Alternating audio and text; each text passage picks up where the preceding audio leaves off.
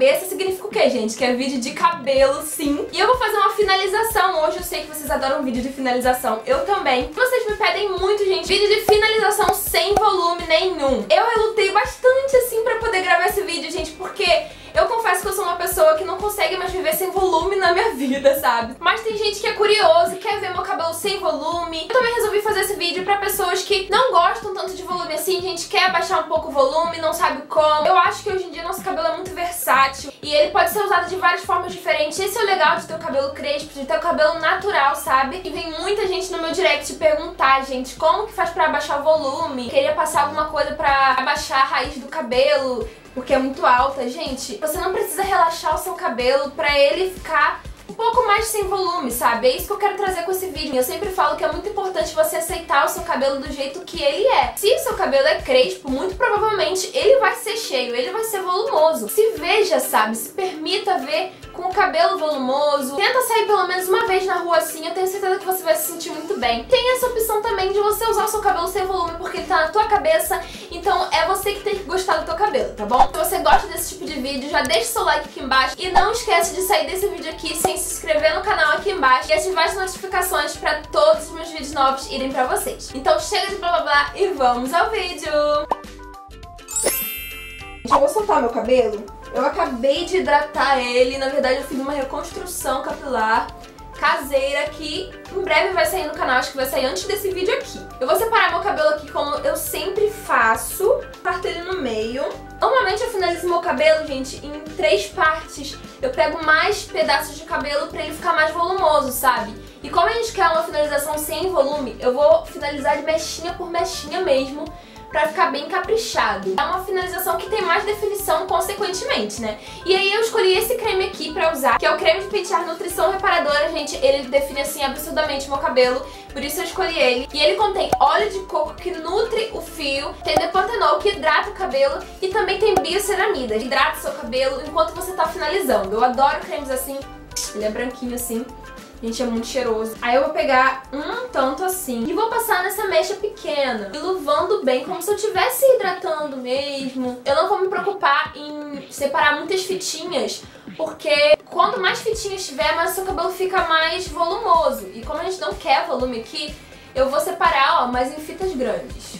Tá vendo? Só assim. E eu escolhi fazer a finalização COG hoje, gente, que é creme, óleo e gel. Porque eu sinto que quando eu faço essa finalização, meu cabelo não fica muito volumoso, ele perde um pouco o volume. E agora na etapa de óleo, eu vou usar o óleo de manga. Ele é um olhinho reparador de ponta, gente. Ele é maravilhoso, eu adoro. Eu vou colocar um pouquinho aqui, ó. Não usa tanto não, tá? Vou aplicar aqui. E aí eu vou vir também com o gel relaxante natural. O nome próprio já diz, é um gel de controle para volume então eu vou usar ele, escolhi usar ele por causa disso. E eu sou apaixonada por ele, gente. Eu sempre uso, tanto que já tá no finalzinho. Não vai ser muito também, tá? Pra não pesar tanto o cabelo. A gente quer uma finalização com pouco volume, mas também não quer o cabelo pesado, né? E a gente vai fazer aquele esquema, separar as fitas, mas não tão pequenas.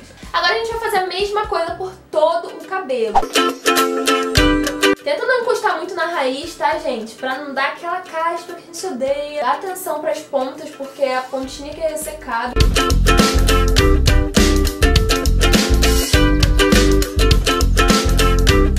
Eu só vou esticando e deixando, tá, gente?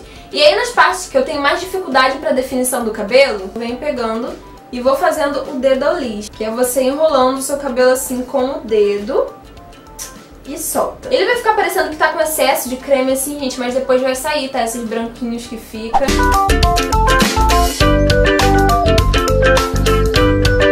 Primeira parte do cabelo já tá toda finalizada. Claro que ele não vai ficar completamente sem volume, porque o meu cabelo é crespo e ele tem volume por si próprio.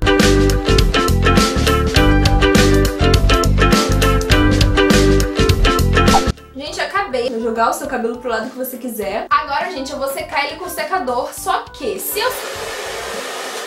Bom. Se eu secar com o secador sozinho, ele vai ficar com um pouco frizz e vai acabar aumentando um pouco o volume. Que normalmente eu adoro esse efeito, mas como hoje a gente não quer volume, vou usar o difusor, gente, junto. Eu nunca usei difusor na minha vida, gente, eu vou testar agora junto com vocês. Esse daqui também é da sala online, tá? Olha como que ele é grandão, gente. A gente não vai secar assim, ó, como normalmente as pessoas fazem. Quando você seca assim, é porque você tem os cachos um pouco mais abertos que não definem tanto. Aí se você fizer assim, ele vai encolher muito, muito, muito cabelo. E o meu cabelo, gente, meu tipo de cabelo encolhe assim absurdamente. Vou vir secando assim, ó. Só encostando e secando.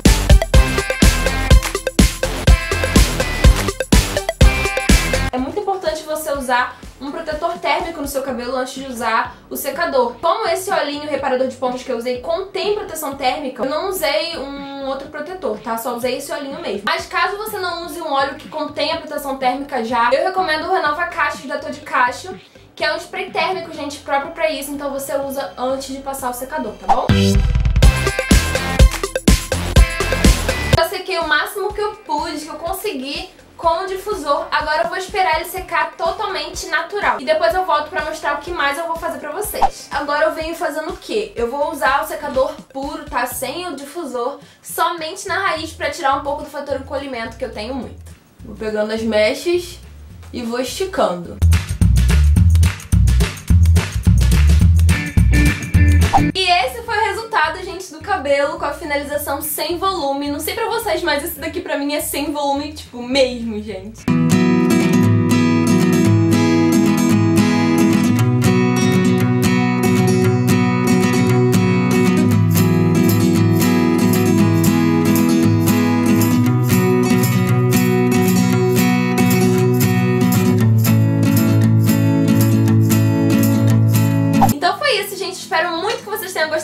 Beijão e até o próximo vídeo. Tchau! company